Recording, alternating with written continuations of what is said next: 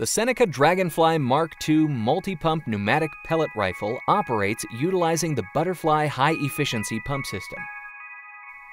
Unlike other multi-pump pneumatic pellet rifles, the Mark II has a unique triple joint assembly comprised of a push bar, a pull bar, and a linkage joint.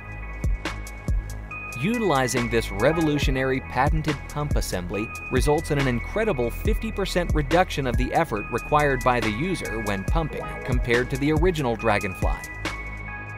Not only does this system reduce the pumping effort, but it also maintains the same effort for each pump stroke, unlike traditional multi-pump systems where the pumping effort increases with each stroke.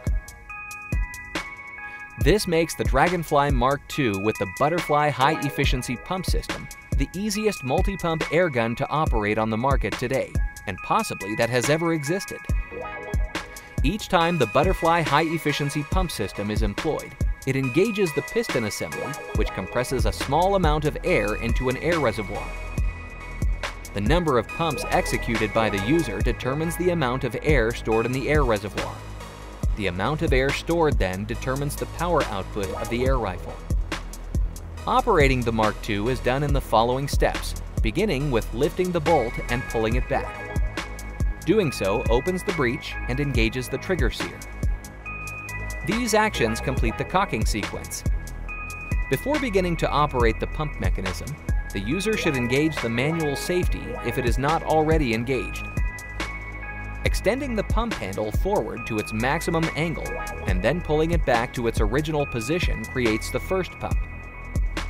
The Mark II is able to fire with just three pumps, but maximum power is achieved by pumping the rifle 15 times. The user can control the output power of the gun by altering the number of pump strokes for a given shot. Once pumping is completed and with the breech open, Either a single projectile or a magazine that allows for multiple projectiles can be inserted. After insertion is completed, the bolt handle is then pushed forward and down, thus loading a pellet into the barrel and making the rifle ready to fire. To complete the firing process, the user disengages the safety, takes aim, and pulls the trigger.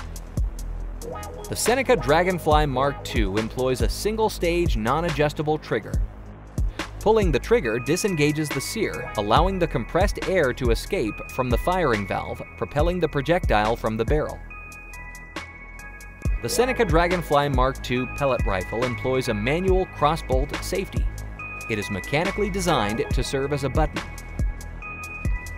Lateral force exerted on the button to either the right or left blocks or unblocks the trigger mechanism.